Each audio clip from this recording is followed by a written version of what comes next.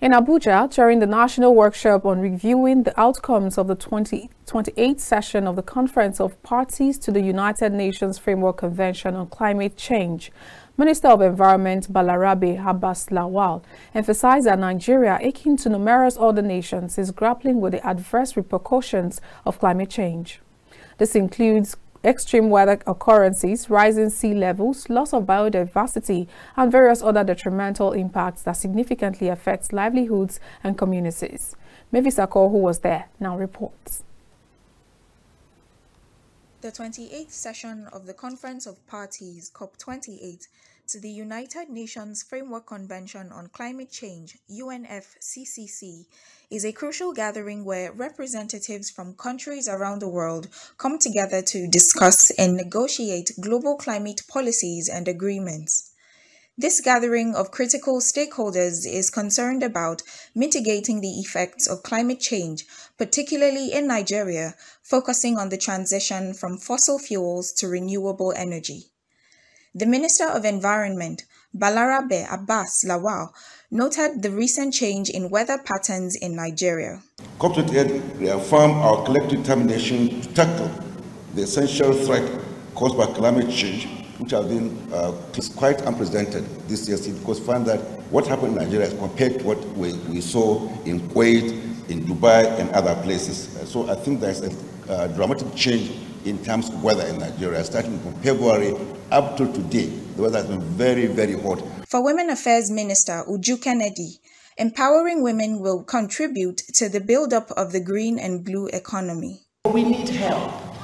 If you need us to be part of this green and blue economy, the private, uh, climate change, we need the donors to concentrate more on empowering women with those sustainable empowerment that will encourage the blue and green economy and, and climate change.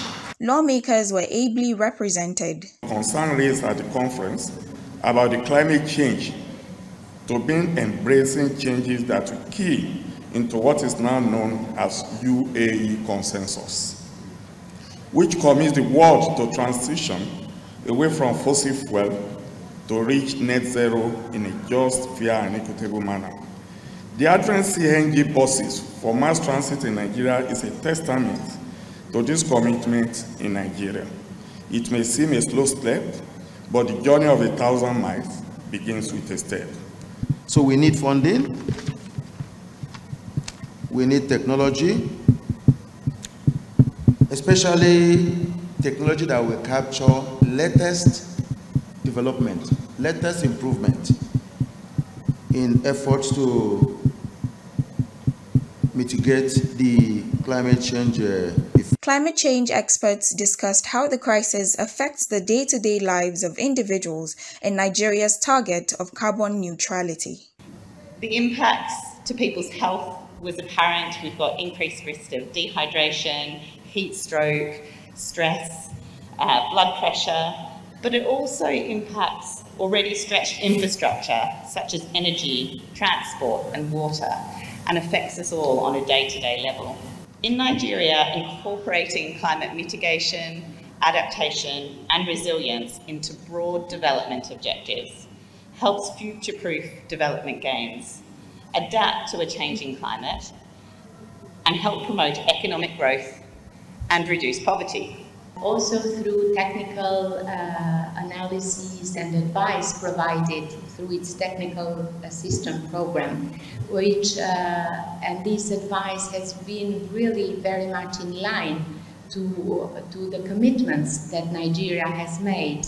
And uh, towards Paris Agreement, but also uh, other uh, other uh, other commitments and strategies that really Uh, uh, outlined in Nigeria's Sustainable Development Vision. And we are very happy that uh, Nigeria, they are really uh, also high, you know, in um, increasing the stakes in this pursuit by setting 2060 as their target for carbon neutrality. Critical stakeholders also shared their views on COP28 outcomes. COP28, which is Conference to the Parties, number 28, that took place in Dubai. The opportunities that the outcomes afford and its implications for the country were also considered, and that is part of what we will be discussing with all of you in order to give you the appropriate current status of what Nigeria is doing with respect to the COP.